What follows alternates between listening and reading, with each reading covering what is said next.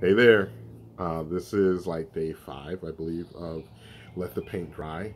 And just sitting with this idea of a wellness, documenting my wellness uh, process, my wellness um, support system in COVID and in so much social unrest around the killing of black bodies and being a creative, being a black creative, and being in a space where people are talking so much about me as a black person, not me per se, but black bodies and black people, but they don't know me, you know. So seeing that cultural dialogue and conversation go on on at on a international level, and then being a creative in the midst of this, and using cartoons as a form of expression or form of healing, and then using cartoons to also address a ancestral, like, earth, cosmic, and DNA soul story.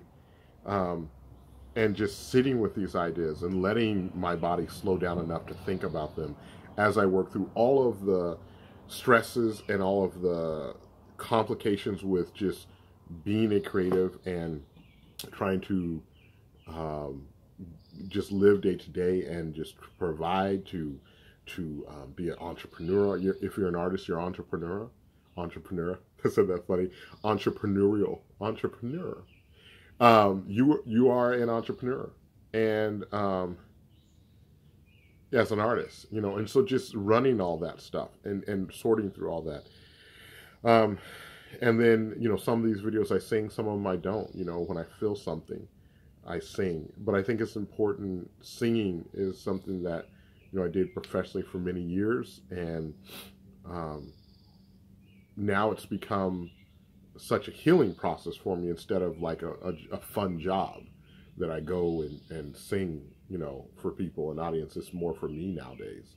And, and I can't even imagine in my days of touring that that would even be possible, that I would come to a point where I would want to just sing just for myself, whether people heard it or not.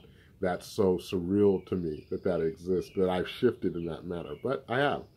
So, um, this is just me uh, let the paint dry, just a daily uh, expression, maybe podcast if you will. I just I'm just putting videos. It's real straightforward for me. I've tried editing one, but I'm really just looking at sitting in front of the camera and expressing how I feel and documenting this process of being a creative in America in 2020 uh, as African American creative, and all that that comes, all that comes along with that, um, and in a community that's predominantly white, uh, where you have so this is me expressing my wellness practice in a white controlled space in a white controlled community, a white dominant community, and what that means, you know.